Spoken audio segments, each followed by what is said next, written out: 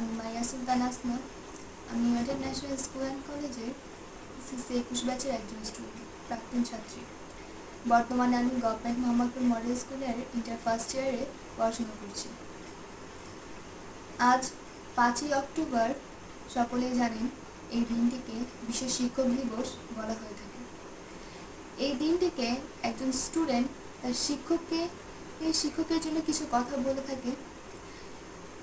আসলে আমরা আমাদের প্রিয় মানুষগুলোকে হয়তো বা আমাদের মনের মনের ভাবগুলো প্রকাশ করে থাকি বিভিন্ন ভাষায়।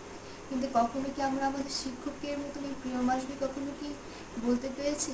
তাদের এই অক্লান্ত পরিশ্রম, আমাদের জীবনে যে প্রতিটা ক্ষেত্রে তাদের অবদান রয়েছে, এটা আসলে বলে বোঝানো যায় না।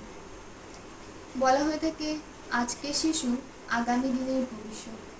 আর এই ভবিষ্যৎ গড়তে প্রেরিত হয়েছে বিশাল সমুদ্রের ন্যায় হৃদয়ের মানুষ শিক্ষক, শিক্ষকের মতো মানুষগুলো। একজন শিক্ষককে বলা হয়ে থাকে জাতি গড়ার কারিগর। আসলে একজন শিক্ষক যদি না হতো, তাহলে তাহলে আমরা বুঝতে পারতাম না জীবনটাকে কীভাবে উপভোগ করা যায়, জীবনে কোন রাস্তায় চলে এই কোন রাস্তায় চলে আমার জন্য ভালো হবে।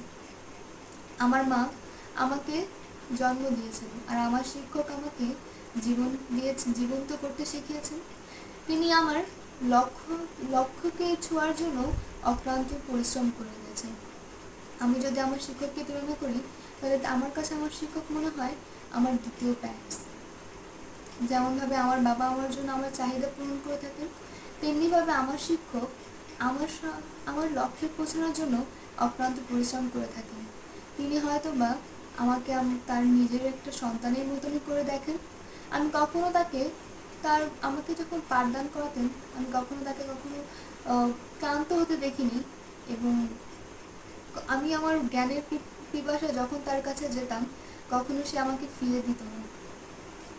আমার আজকে জীবনে এই পর্যন্ত আসার মূল কারণই হচ্ছে আমার শিক্ষক। আমি আমার শিক্ষককে, আমি আমার শিক্ষকের কাছে অনেক ঋণী। হয়তো কোনোদিন তার ঋণ শোধ করতে পারব না কিন্তু আমি চাই আমার জীবনের প্রতিটি ক্ষেত্রে তার শিক্ষার জন্য সর্বোত্তম উপায়ে কাজে লাগাতে পারি।